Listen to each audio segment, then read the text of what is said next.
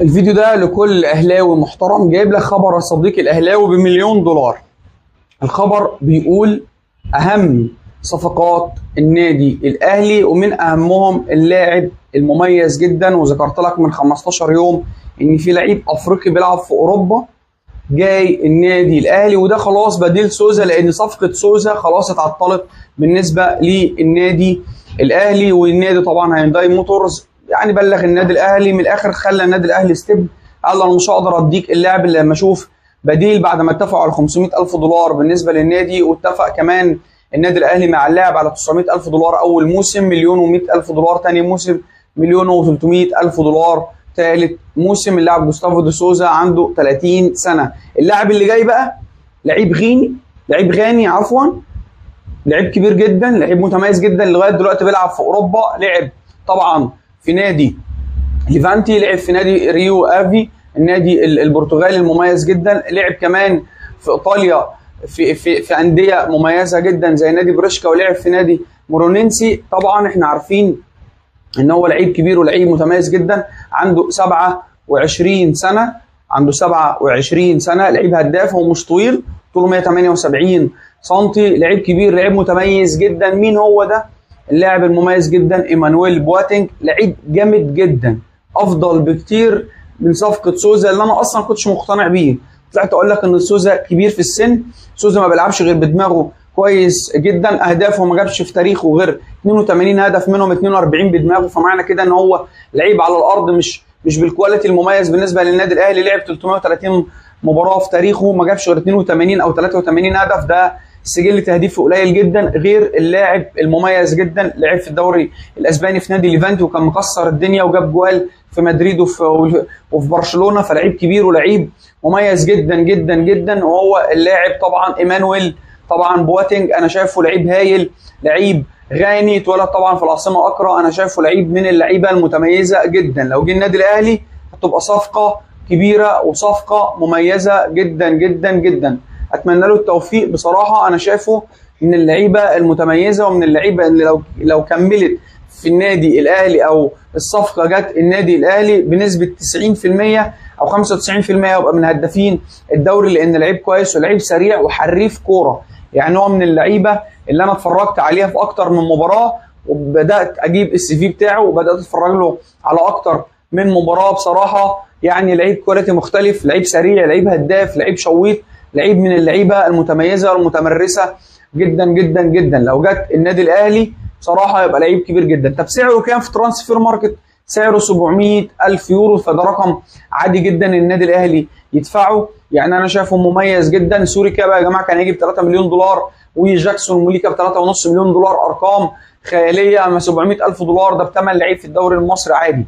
ولسه عنده 27 سنة لو لعب سنتين ثلاثة النادي الأهلي ممكن يستثمر فيه زي حمد فتحي عنده 29 سنة وقدر إن هو يروح يعني نادي مميز زي نادي الوقر القطري ب 3.5 مليون دولار. فلعيب كبير ولعيب مميز جدا. لو جه النادي الأهلي هيبقى صفقة مميزة. عيبه الوحيد إن هو لعيب قصير أو لعيب مش طويل. لعيب متوسط طوله متوسط 175 178 مع الرغم إنه بيلعب بدماغه كويس جدا ده لو جه النادي الأهلي هتبقى صفقة ناجحة وصفقة مميزة جدا وده يثبت لك إن النادي الأهلي ما بيقفش على حد والنادي الأهلي ما بتلويش دراعه ما ينفعش يكون متفق مع النادي الكوري الجنوبي ويرجع يقول له إيه استنى لما ألاقي البديل. طبعا دي حاجة ما بتمشيش مع طبعا النادي الأهلي ولا قيمه ولا مبادئه ولا طبعا ال plan ولا الاستراتيجيه اللي ماشي بيها كابتن بيبو وإدارة النادي الأهلي المحترمة المميزة جدا. ده بالنسبة للمهاجم السوبر. خد بقى الحاجة اللي بقى لنا خمس ست أيام بنتكلم فيها وهو الجناح السوبر المميز جدا ملهم المغرب وهو لاعب الجيش الملكي رضا سليم. اشمعنى رضا سليم النادي الأهلي مستموت عليه اشمعنى رضا سليم النادي الأهلي عايزه؟ رضا سليم يا جماعة جاي له خمس عروض. أربعة عربية غير النادي الأهلي وواحد فرنسي. يعني حاليا في الوقت اللي بكلمك فيه وكيل رضا سليم هو وكيل فرنسي جايب له عرض من الدوري الفرنسي. نادي رين نادي كبير نادي مميز ونادي من الأندية القمة في فرنسا. اللاعب جاي له نادي رين جاي له مين كمان؟ جاي له النادي الأهلي. عرض رسمي. رغبة رضا سليم لغاية الوقت اللي بكلمك فيه هو الاحتراف. طب تاني رغبة هو النادي الأهلي. جاي له عرض مميز جدا من نادي الوحدة الإماراتي طبعا الوحدة الإماراتي عارفين إن مسكه بيتسو موسوماني الوحدة الإماراتي مقدم عرض كبير جدا. النادي الأهلي مقدم عرض. نادي بيراميدز عرض. نادي الزمالك عرض. كمان نادي أم سلال القطر اللي ماسكه باتريس كارترون عرض. فأنت بتتكلم لعيب جاي له من خمس لست عروض. بس اللاعب بعيد بعد أوروبا طبعا هو مين؟ طبعا النادي الأهلي. طيب النادي الأهلي لو جاب رضا سليم خد مني. حاجة من اتنين هتحصل. حاجة من اتنين يا إما النادي الأهلي يخلص ويستغنى على على بيرسي تاو يستغنى عن بيرسي تاو ويروح الوحدة الأماراتي جاي له عرض كبير. لا إما أحمد قندوسي يطلع على سبيل الإعارة لنادي شبيبه القبائل أو أي نادي في مصر. طب ليه بيرسي تاو الوحده الأماراتي؟ إحنا عارفين طبعا إن بيتسو موسيماني ماسك الوحدة الأماراتي فطالبه بالاسم. تخيل معايا إن بيرسي تاو مش عايز يسيب النادي الأهلي إلا في حالة واحدة بس وهي الاحتراف الخارجي في أوروبا. الاحتراف الخارجي في أوروبا. أنا شايفه لعيب مميز بيرسي لعيب كبير من مفاتيح اللعب النادي الأهلي. بصراحة لعيب متميز جدا وشايفه من لعيبه الصفوة في الدوري المصري. أتمنى له التوفيق. لعيب متميز جدا. أتمنى له التوفيق.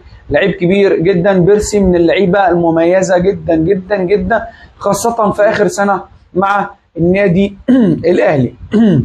طب تعالى نتكلم في حاجة مميزة جدا بعيد عن اللاعب الكبير اللاعب المتميز جدا وهو طبعا رضا سليم. تعالى أقول لك على محمود مرعي. محمود مرعي حاليا بقى على رادار النادي الأهلي بنسبة 90% طب ليه محمود مرعي؟ اولا محمود مرعي لعيب دولي كان بيلعب في وادي دجلة كان هايل بيلعب في فيوتشر مستواه ثابت لعيب كبير جدا ومتميز جدا. لو جه النادي الأهلي هتبقى صفقة مميزة جدا جدا جدا. طب واحد يقول لي طب النادي الأهلي عنده أربع third باكات. لا يا حبيبي النادي الأهلي هيلعب ال Super League. هيلعب السوبر المصري هيلعب السوبر الافريقي عنده كاس مصر عنده الدوري الم- المصري عنده كاس عالم للأندية. انت بتتكلم في ست بطولات النادي الأهلي هيلعب فيها أكتر من 60 70 مباراة. فمحتاج لكل كعب رجل لعيب. محتاج لكل لاعب في ال squad.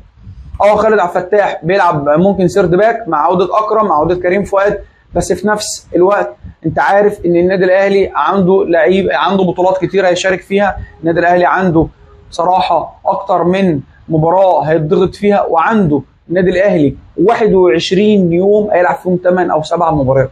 أنت بتتكلم النادي الأهلي مطحون خاصة من 20 آه، من 20 آه، أكتوبر ل 14 أو 15 نوفمبر. في الوقت ده هيلعب أكتر من سبع ثمان مباريات في أكتر في أقل من 20 يوم. أنت بتتكلم في رقم خزعبلي.